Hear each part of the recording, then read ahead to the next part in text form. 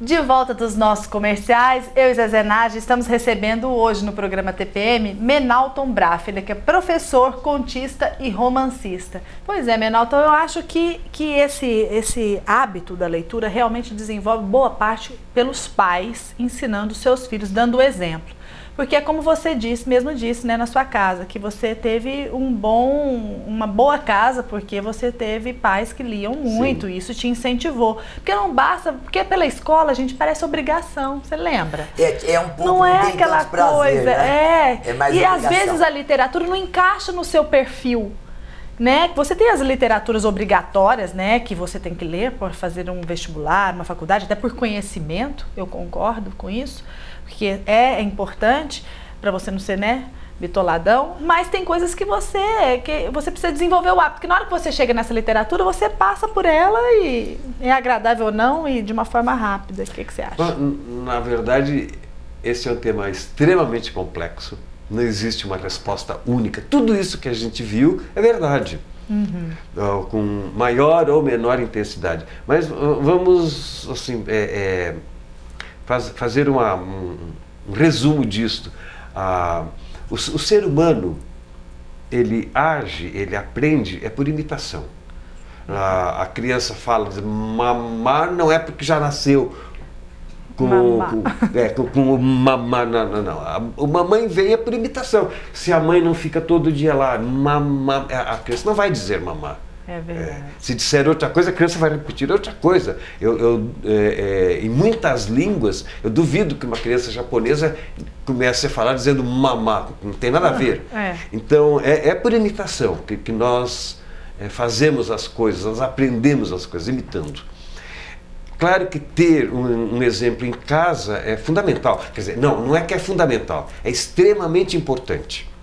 Uhum. É, a partir dali. Para estimular, né? Psicológico. A partir dali fica tudo mais fácil. Mais fácil Agora, se falha, e aí a gente tem que pensar é num, num, aumento do número de leitores. Ora, então se, se o número de famílias que, tem, é, que dão o um exemplo em casa o, é, o, é pequeno, então e é, mas é fundamental, então não haveria progresso. Então, se a, se a família falha, a escola tem que entrar como a, a segunda opção. Entendi. A escola tem que motivar, tem que incentivar.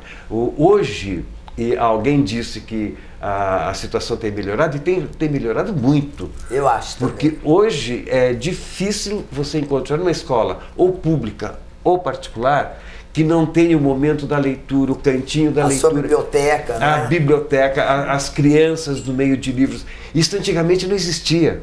É verdade. Agora, querido, como o tempo está correndo, eu quero te fazer uma pergunta. Você, o que, que me diz em relação aos você como escritor, em relação à globalização, a, a, ao computador que aí está? Uhum. Como é que você sente você como produtor de um livro, escritor? O seu livro ele é procurado mais, vamos dizer, nas livrarias ou na internet. Você tem essa. E vale lembrar que ele né, escreveu Cipreste, Cipreste que foi que ganhou, ganhou o prêmio Jabuti, é gente. De 2000 e 2000. 2000, 2000, né? 2000. 2000. Que é um e dos que esteve no, no e-book. É, ah, ele, que legal. Foi, ele foi, durante um tempo, eu tive um contrato com uma empresa ah. e o livro era disponibilizado pela internet. Que maravilha. Aconteceu isso. É, se o meu livro tiver de sair em papel, ótimo. Eu quero que saia meu livro. Se ele, sair, é. se ele sair num, num, num e-book, se ele sair num, num, num meio eletrônico, é, o texto é o mesmo. Olha, foi ótimo conversar com você. Sempre é bom, né, Zezé? É muito fale, enriquecedor. Eu e Zezé Nage recebemos aqui no nosso programa Menalton Braff, ele que escreveu A Sombra do Cipreste, que ganhou o prêmio Jabuti em 2000 é um grande escritor que nós estamos recebendo aqui é e é um prazer para todos nós. E continue com essa paixão e escreva bastante, sem é. miséria pra gente. Você Obrigada. aí, até mais.